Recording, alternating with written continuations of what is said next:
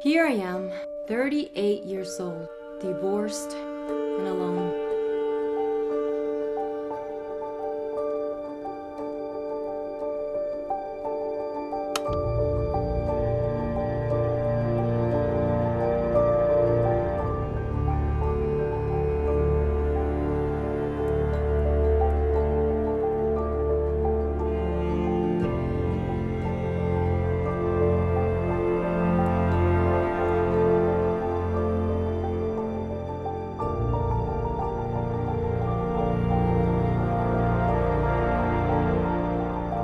Everything's gonna be all right. We'll leave now.